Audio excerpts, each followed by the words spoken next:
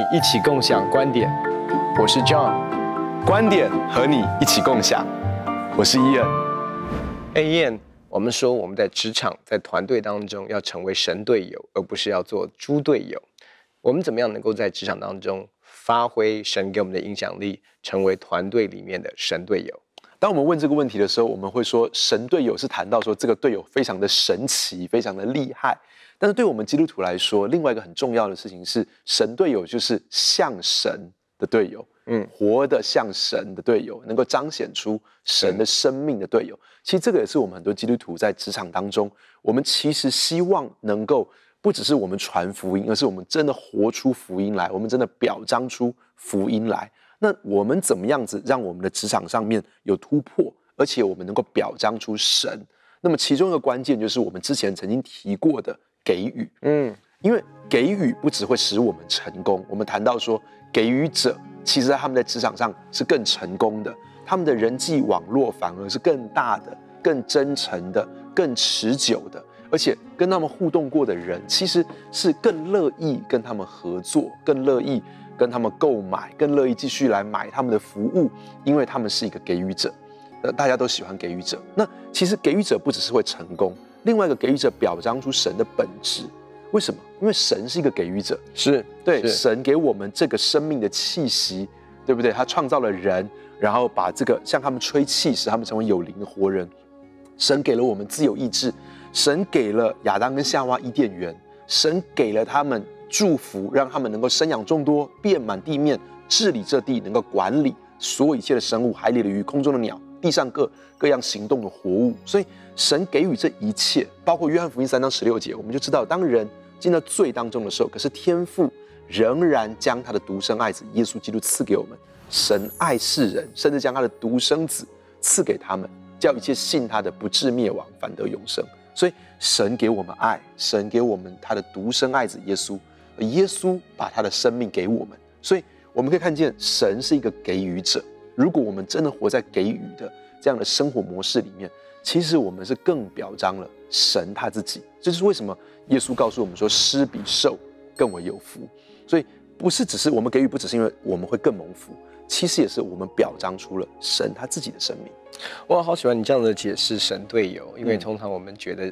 啊，神队友的相反就是猪队友。可是从来没有想过，神队友其实是彰显出神的生命，也就是我们每一个基督徒的呼召，就是要长大成熟，满有基督长大的身量。是，呃，我我我觉得，其实怎么样活出耶稣的生命，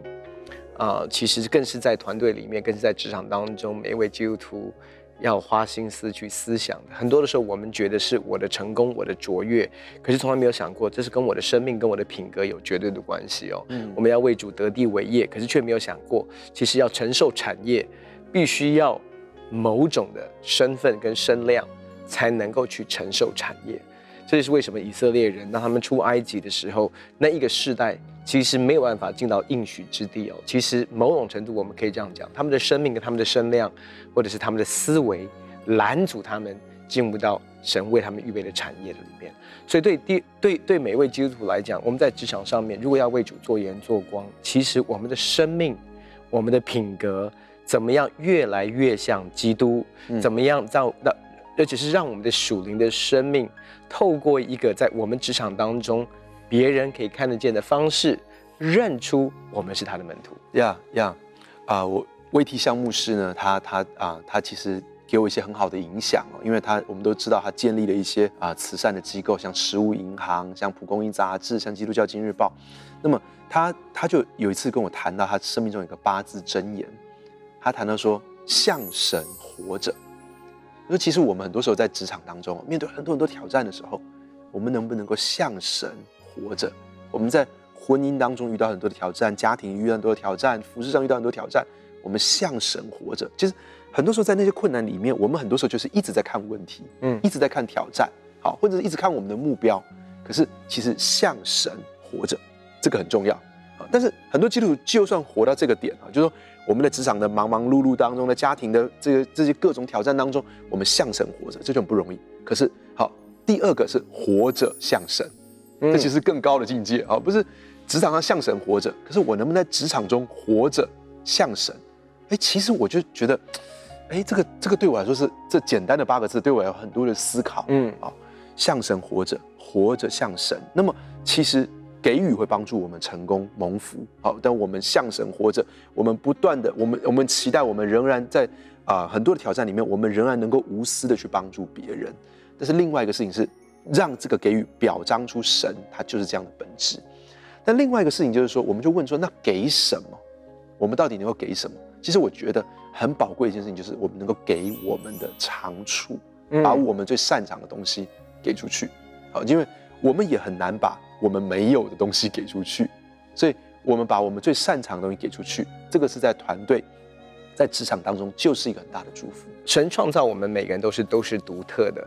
我怎么样？第一个是发掘我的恩赐、我的才干、我的能力，然后在团队当中把我的那一份带到团队里面来贡献、来分享，然后来付出。对我觉得这是一个非常重要的一个在团队当中，啊呃，成为一个好队友，成为在团队当中成为一个神队友，这是最基本的你要来贡献的。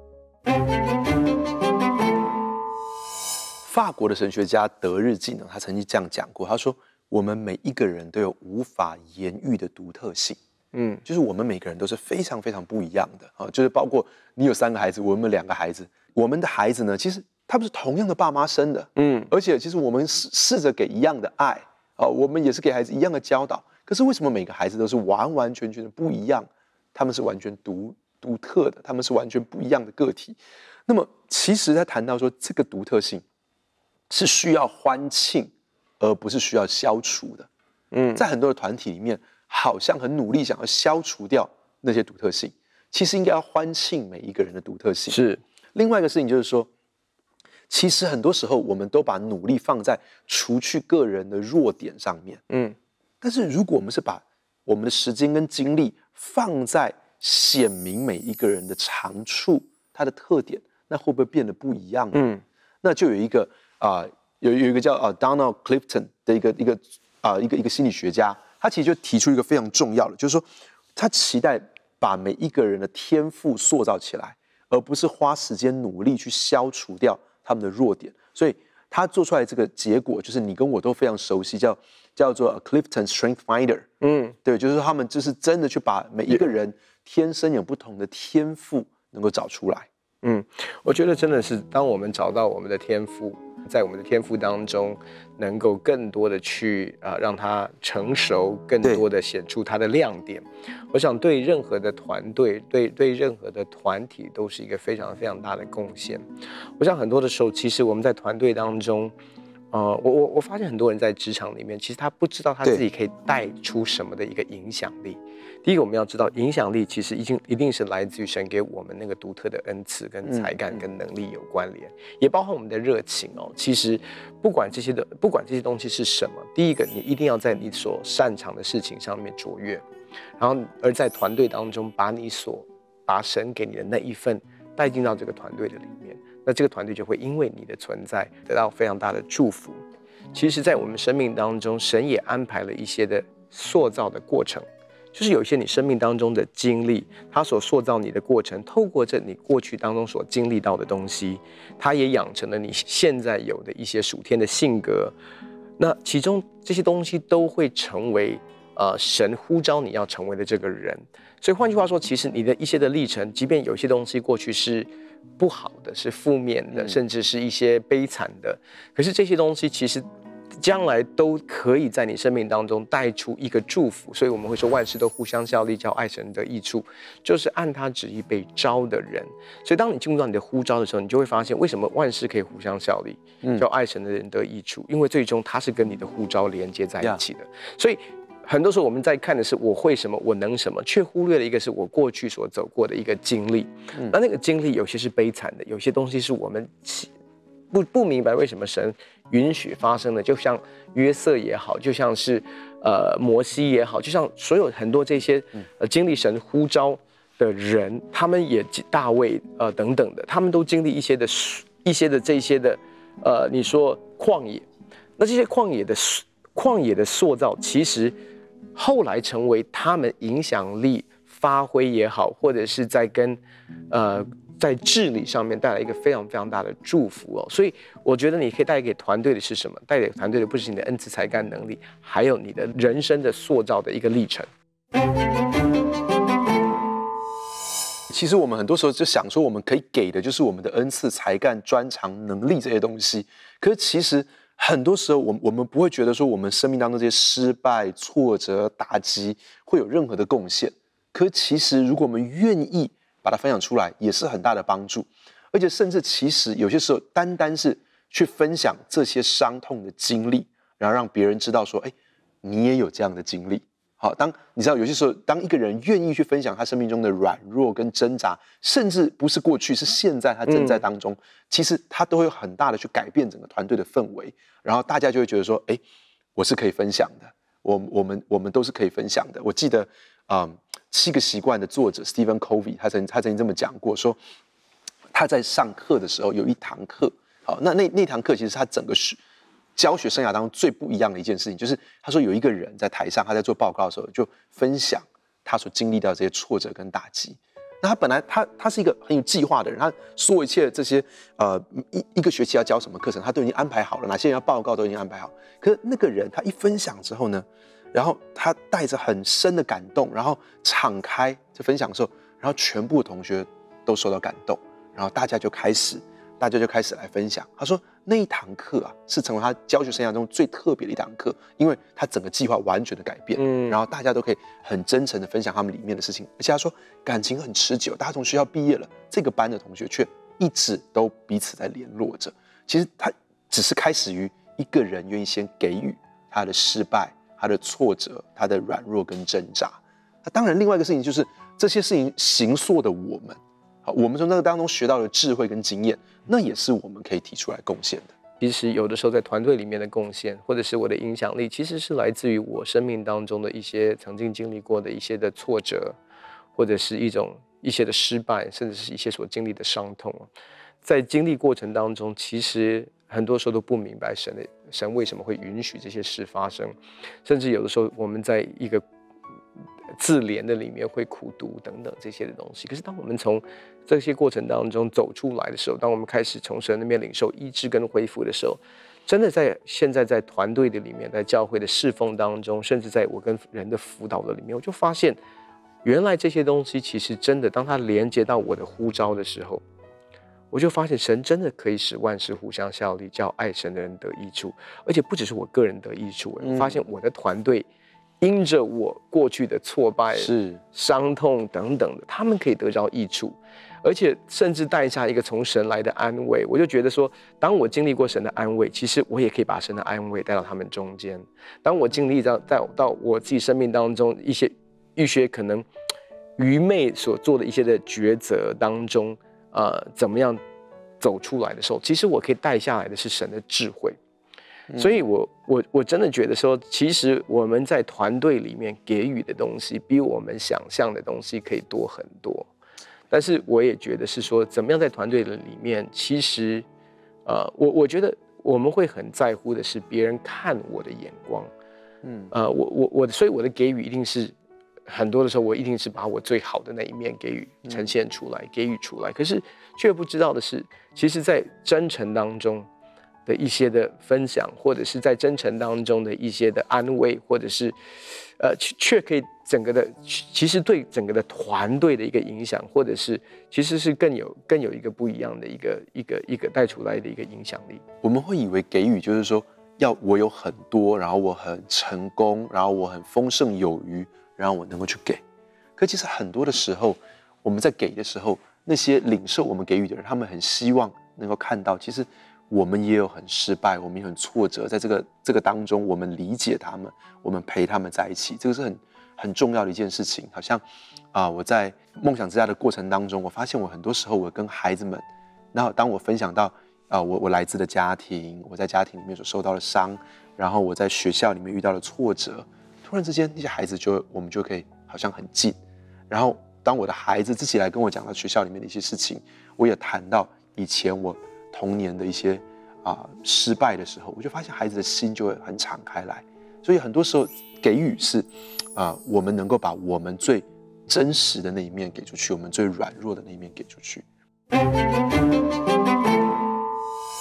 我们知道我们不是完美，我们知道有很多东西我们不会，可是我们知道我们会什么。其实，如果你去看所有的领导者，他们每一个人都知道他们会什么，他们不会什么，然后他们竭尽所能的，他们不会去隐藏他们的不会，可是他们尽力的把他们会的、他们能够的，把它发挥到极致，而且能够分享出去。这是常是一个好的领导者的特质。这其实他们会的都不一样，好像我们知道说那个啊，Clifton Strength Finder 里面会，他们其实是有三十四种的天赋，对不对？好，这三十四种不同的天赋。那其实二零零八年的时候，在佛罗里达州大学有一个有个教授叫 Tim Judge，他就研究了七千五百个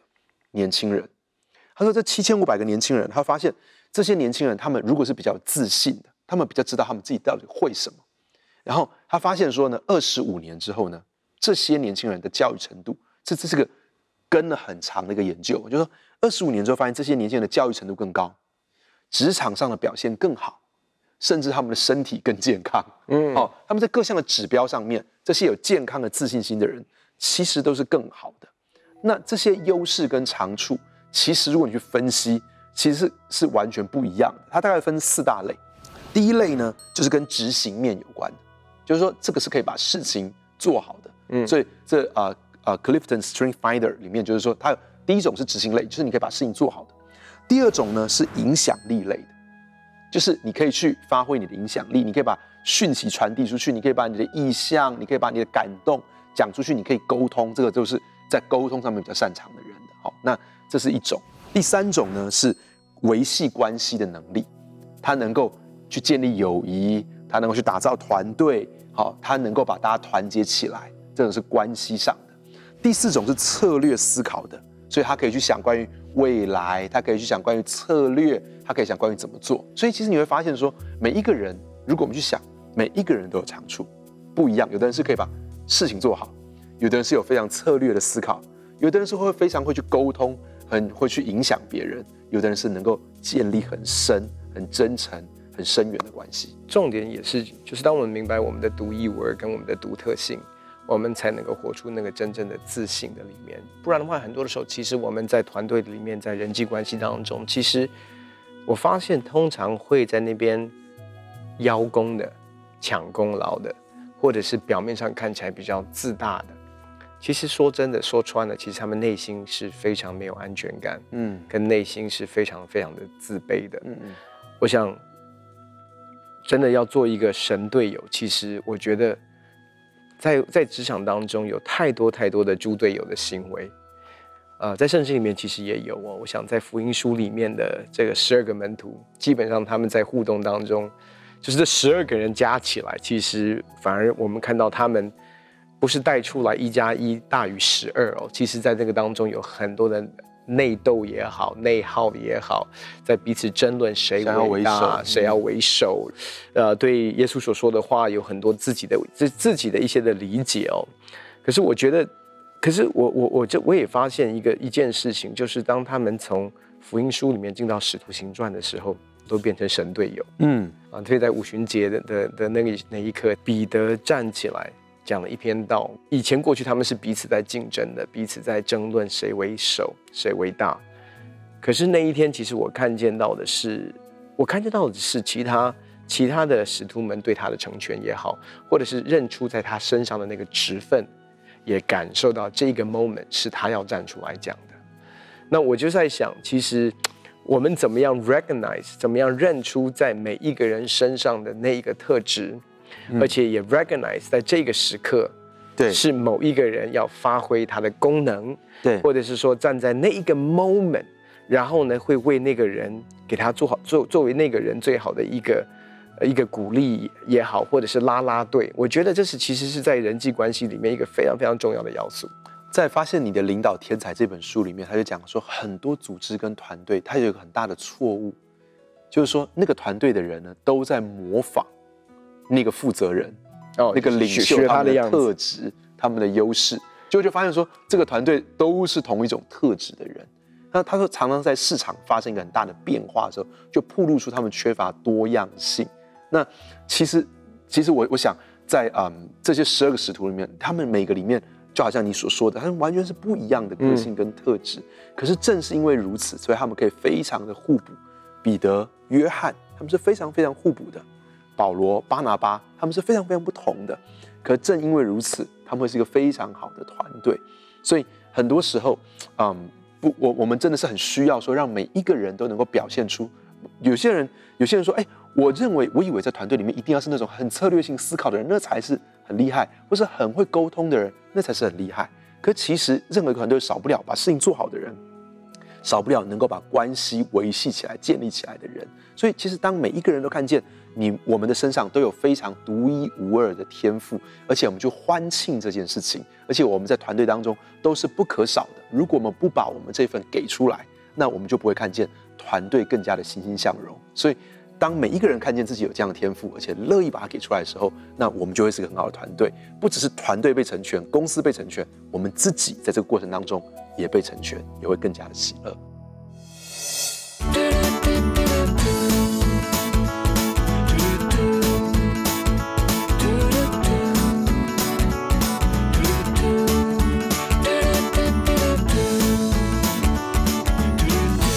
在职场当中，我们不只是要向神活着，而且也要活着向神。我们的父神是一个给予者，他给我们生命，给我们爱，也给我们他的独生爱子耶稣基督。所以，让我们效法父神的榜样，成为一个给予者，彰显出天赋他的属性来。当我们给予的时候，不只是可以给出我们的。恩赐、才干、能力，也可以给予出我们的脆弱、我们的失败、我们内心里面的挣扎。那所有一切过去形塑我们的事情，我们都可以给出去。亲爱的朋友，我要说，照着 Donna Clifton，你是有天赋的。或许是一个把事情完成的，或是建立关系的，或是影响力的，或是策略的。但是我知道，我们每一个人都有天赋。让我们把我们的天赋发挥出来吧。发挥我们的强项，很开心跟你分享我们的观点，也欢迎在网络上跟我们分享你的观点，共享观点。我们下次见。